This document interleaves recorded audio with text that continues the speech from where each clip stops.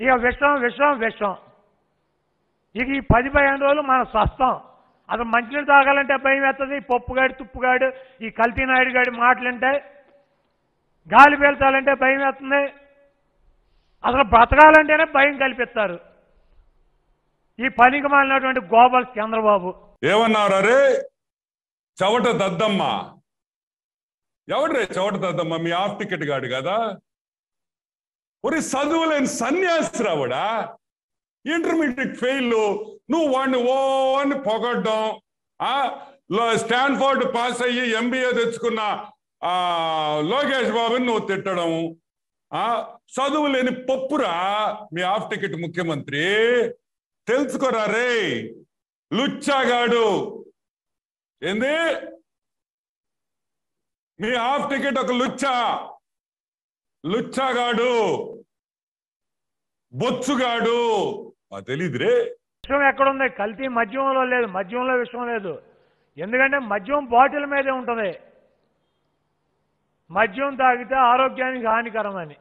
ఏ distillery వాళ్ళ దగ్గర తీసుకువెళ్ళి ఈ బాటిల్స్ ఎక్కడ చెక్ చేశారు తెలుగుదేశం పార్టీ ఆఫీస్లోనా?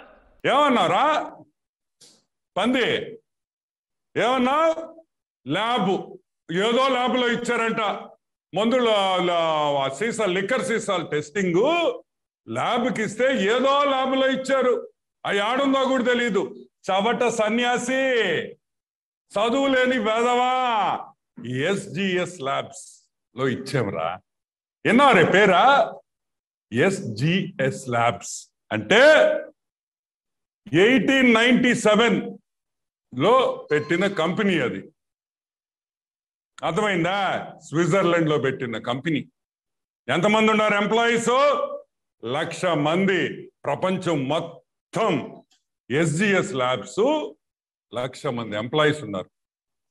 రెండు వేల ఆరు వందల ల్యాబ్లు ఉన్నాయి ప్రపంచంలో. ఎన్ని? రెండు వేల ఆరు వందల ల్యాబ్లు ఉండే లెబారిటరీ రా టెస్టింగ్ సెంటర్ రా ప్రపంచంలో మొత్తం ఉందిరా. ఎదవా తెలుసుకోరా? ప్రభుత్వం డిస్టిలరీలోంచి వచ్చేటువంటి ప్రతి లోడ్లోనూ శాంపిల్ తీద్ది అక్కడో బాటిల్ అక్కడో బాటిల్. తీసి ఆ మద్యాన్ని చెక్ చేసినాకే గవర్నమెంట్ డిపోలోకి వస్తుంది. ఆ పర్సంటేజీల ప్రకారం ఉందా లేదా ఇవన్నీ కూడా చూసుకుని ప్రతి లోడుని చెక్ చేయాల్సినటువంటి అవసరం ఉంటుంది.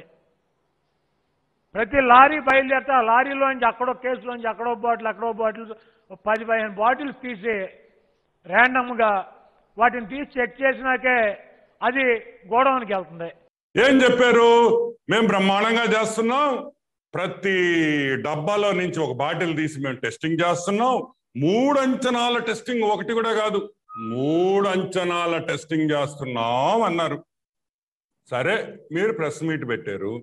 దాంట్లో ఒక ముఖ్యమైన మనిషి లేడు. ముఖ్యమైన వ్యాపారస్తుడు కొడుకు లేడు. ముఖ్యమైన ఎంపీ కొడుకు లేడు. ఎవరో? అదాన్ డిస్టిలరీస్. ఏది? ఆదాన్ డిస్టిలరీస్. ఎవరిదనుకుంటున్నారు? హాఫ్ టికెట్ గాడి కంపెనీ అది. మన హాఫ్ టికెట్ ముఖ్యమంత్రి గారి సూట్ కేసు కంపెనీ. ఎవరి ద్వారా పెట్టించాడు? పొట్టి విజయసాయి రెడ్డి ద్వారా పెట్టించాడు. మనోడికి అలవాటు కదా? వాడికి వంద రెండు వందల కంపెనీలు పెట్టున్నాడట. ఎప్పుడు పెట్టారు? రెండో డిసెంబర్ రెండో తేదీ రెండు వేల పంతొమ్మిదిలో అదాన్ డిస్టిలరీస్ అనే కంపెనీ స్థాపించబడినది. రెండు వేల పంతొమ్మిదిలో జగన్మోహన్ రెడ్డి ముఖ్యమంత్రి అయిన తర్వాత ఈ డిస్టిలరీ పెట్టడం మొదలైంది. స్థాపించిన డేట్ అది. సరే ఇంకా హాఫ్ టికెట్ గాడి కంపెనీ.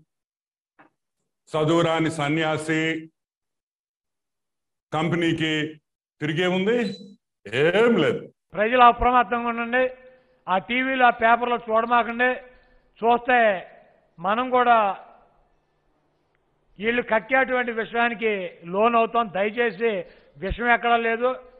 ఈనాడు పేపర్లో ఆంధ్రజ్యోతి పేపర్లో ABN TV five ETV Ramoji Rao Radhakrishna BR Naidu Chandrababu Naidu Lokesh.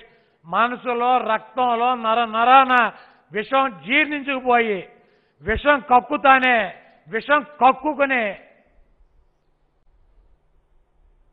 Jaganmohan Reddy గారిని సాధించాలని చెప్పి చూస్తున్నారు. ఆయనేమో నా ఇంటికి ముక్క కూడా పేకలేరని చెబుతున్నారు. Ramoji Rao Radhakrishna BR Naidu BR Naidu Radhakrishna Ramoji Rao. పని బాట లేదురే మీక. నువ్వు ఒక ముఖ్యమంత్రివా? పేపర్ వాళ్ళ గురించి స్టేజ్ మీద మాట్లాడతావా? ఒక్కటి మాత్రం భలే నిజంగా హ్యాపీ. నా ఎంటుకు కూడా పీకలేడు అన్నాడు హాఫ్ టికెట్. ఏ ఎంటుకని ఆ చిన్న పిల్లకాయలు ఉండే నాయన దండం పెడతారా రే. నువ్వు జాగ్రత్తగా మాట్లాడరా సామె. ఆ పదం ఏందా? అదే మన చదువులేని చదువు లేదు కదా. దుష్ట చతుష్యం. మూడు నెలలు పట్టిందంట అభయం నేర్చుకునేదానికి. అద్దుతత్వం అద్దుతత్వం అద్దుతో నేర్పించి నేర్పించి నేర్పించి నేర్పించి ఇప్పుడు మాత్రం కొంచెం కరెక్ట్గా చెప్తున్నాడు. అంటే ఎట్లా ఫెయిల్ అయ్యాడు కదా? పాపం మనం కూడా తప్పు పట్టబడలేదులే కదా? మాకు తెలుసు తిట్టేది. చవట దద్దమ్మ నేను ఇంకోటి కూడా చెప్తున్నా. ఈరోజు వైఎస్ రాజశేఖర్ రెడ్డి కుమారుడైన వైఎస్ జగన్మోహన్ రెడ్డి మన హాఫ్ టికెట్ చదువు లేని పప్పు. ఈరోజు నేను చాలా లైట్గా పోయా.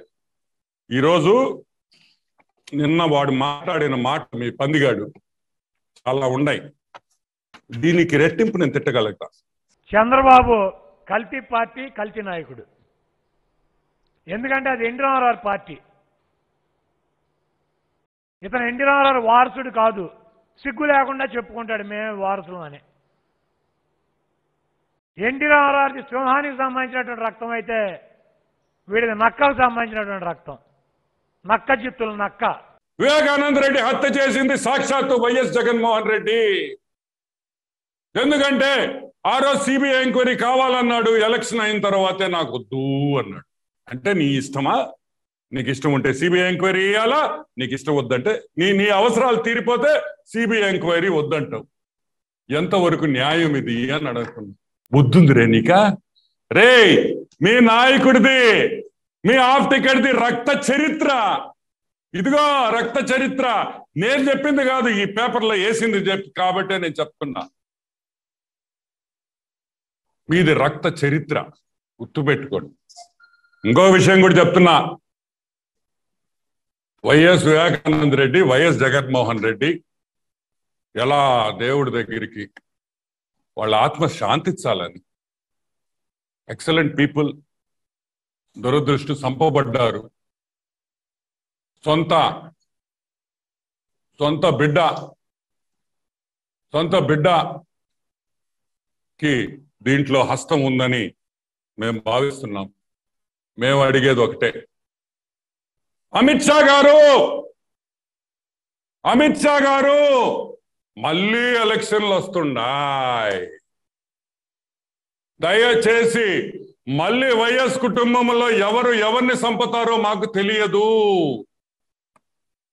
విజయమ్మ గారికి షరిమలమ్మ గారికి జడ్ కేటగిరీ సెక్యూరిటీ మీరు ఇప్పించాలి. విజయమ్మ గారికి షర్మిల గారికి జడ్ కేటగిరీ సెక్యూరిటీ మీరు ఇప్పించాలి. రేపు వాళ్ళకి ఏమన్నా జరిగితే అది మా నెత్తిని మీద పెడతారు. ఇదిగో ఈ పేపర్ వాళ్ళు